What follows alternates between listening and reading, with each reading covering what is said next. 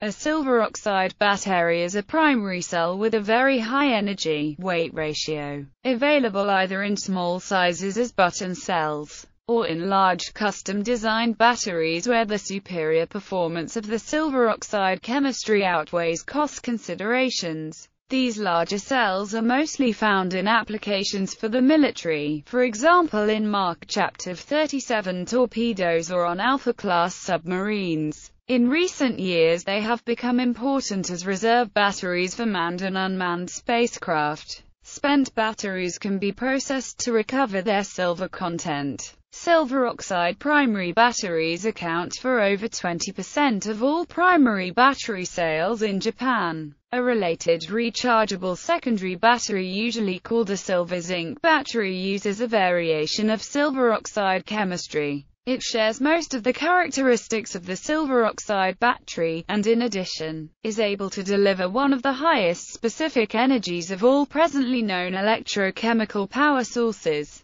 Long used in specialized applications, it is now being developed for more mainstream markets, for example laptop batteries. Chemistry a silver oxide battery uses silver oxide as the positive electrode, zinc as the negative electrode plus an alkaline electrolyte, usually sodium hydroxide or potassium hydroxide. The silver is reduced at the cathode from Ag to Ag and the zinc is oxidized from zinc to zinc. The chemical reaction that takes place inside the battery is the following. The silver-zinc battery is manufactured in a fully discharged condition, and has the opposite electrode composition, the cathode being of metallic silver, while the anode is a mixture of zinc oxide and pure zinc powders. The electrolyte uses a potassium hydroxide water solution. During the charging process, silver is first oxidized to silver oxide. 2 Ag plus 2OH minus Ag 2O plus H2O plus 2E minus and then to silver oxide.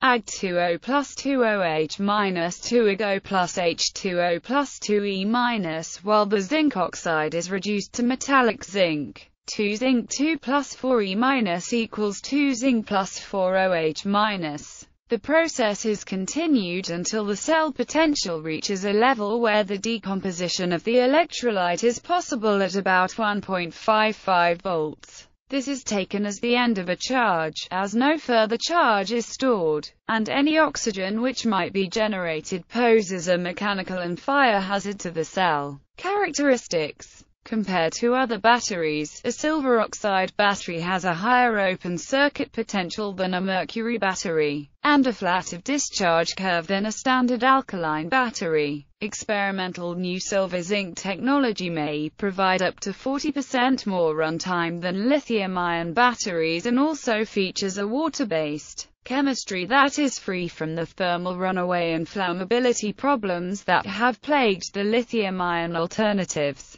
History This technology had the highest energy density prior to lithium technologies. Primarily developed for aircraft they have long been used in space launches and crewed spacecraft where their short cycle life is not a drawback. Non-rechargeable silver-zinc batteries powered the first Soviet Sputnik satellites as well as U.S. Saturn launch vehicles, the Apollo lunar module, lunar rover and life support backpack. The primary power sources for the command module were the hydrogen, oxygen fuel cells in the service module. They provided greater energy densities than any conventional battery, but peak power limitations required supplementation by silver-zinc batteries in the CM that also became its sole power supply during re-entry after separation of the service module. Only these batteries were recharged in flight. After the Apollo 13 near disaster, an auxiliary silver-zinc battery was added to the service module as a backup to the fuel cells. The Apollo service modules used as crew ferries to the Skylab space station were powered by three silver-zinc batteries between undocking and EDM jettison as the hydrogen and oxygen tanks could not store fuel cell reactants through the long stays at the station. Mercury content Silver oxide batteries become hazardous on the onset of leakage. This generally takes five years from the time they are put into use. Until recently, all silver oxide batteries contained up to 0.2% mercury. The mercury was incorporated into the zinc anode to inhibit corrosion in the alkaline environment. Sony started producing the first silver oxide batteries without added mercury in 2004.